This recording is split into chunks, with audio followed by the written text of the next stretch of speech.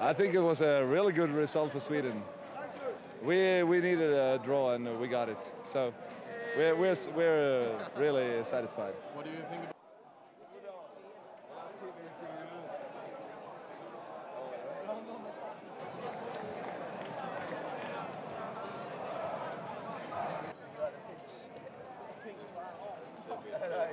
About Well, we've done all right. Uh, we played well in the first half. Obviously, got the uh, got the first goal, great goal from Joey Cole. Um, well, yeah, we played all right. We got two all, so uh, we're obviously after the victory, uh, but two will do us top of the group. Um, so we're very happy.